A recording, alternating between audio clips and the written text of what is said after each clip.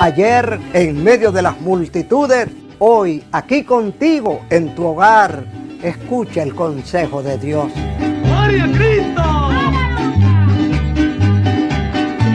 Isaías 50, versículo 4, el profeta dice, el Señor me dio lengua de sabios para hablar palabras al cansado y oído para oír como los sabios. Permita Dios que nuestra lengua hable la palabra de Dios.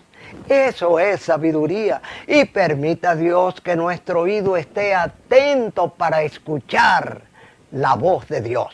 La Biblia dice, escucharé lo que hablará Jehová Dios, porque hablará paz a su pueblo y a sus santos para que no se vuelvan a la locura.